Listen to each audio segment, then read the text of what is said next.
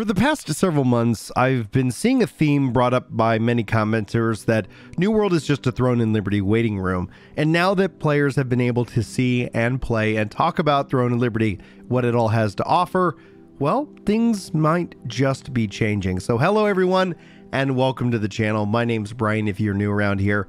But if you're a returning subscriber, welcome back, you sexy beast. And thanks for coming to this MMO discussion in which we're going to be talking about the state of New World as it relates now that people are starting to see what is on the horizon. Now, this isn't me throwing shade at Throne of Liberty.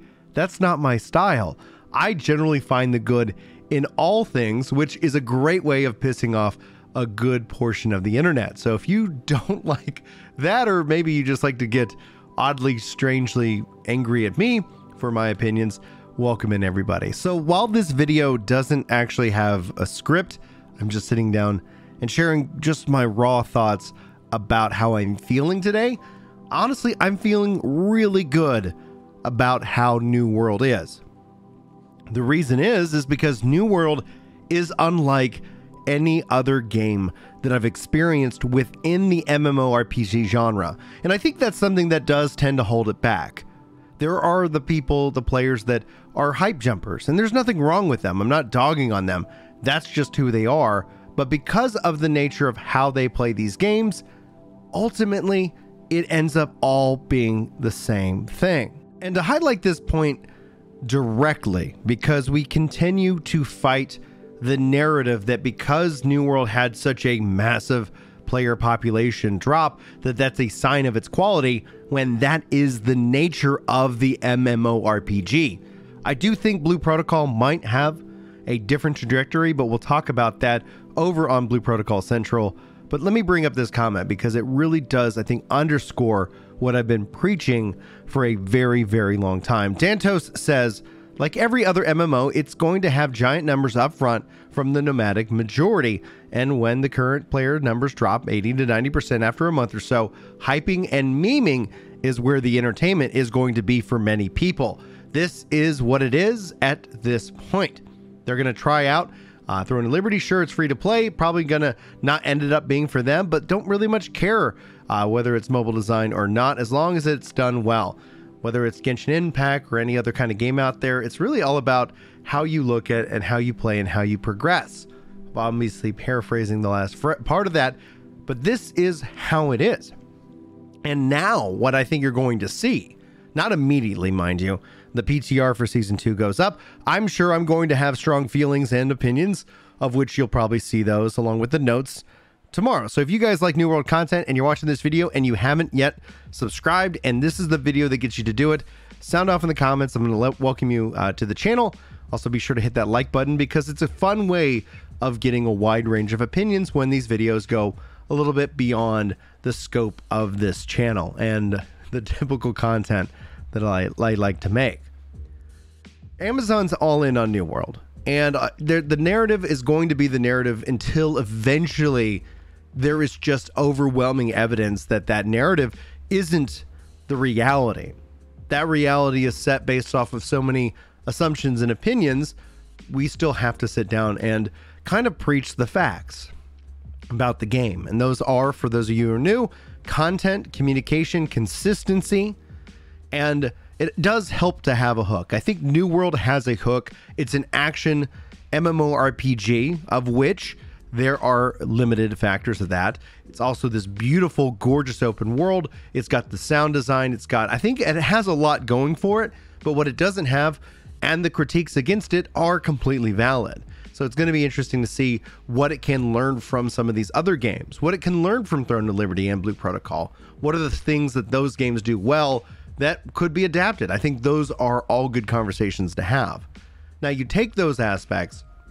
The devs just gave us the May update. They give us weekly uh, developer kind of uh, Aeternum updates, and that allows for the developer updates to be more impactful and more focused on what's to come. And there's also an expansion coming out later this year. And sure, that will bring in hype. Sure, that numbers will go up. And sure, the cycle will repeat rinse and repeat over and over again until the memeing eventually just gets to be a point of absurdity if it hasn't already crossed that bridge already. So, here we are today. And so I ask you sincerely whether you are using New World as a Throne and Liberty waiting room, whether you're on a break. Breaks are good. They're healthy. You should be encouraged to check check them out. It's weird and unfortunate that people use somebody taking a break as some sign of form of quality. And this isn't me saying that New World is perfect and it doesn't need lots of work, it doesn't need lots of content, it doesn't need lots of features. No, by no means. But this is me as the MMO player who's played multiple MMOs from all different time periods, sitting down saying, This is how it ends up being. It's this genre in and of itself where the people who proclaim to love it absolutely cheer on its destruction.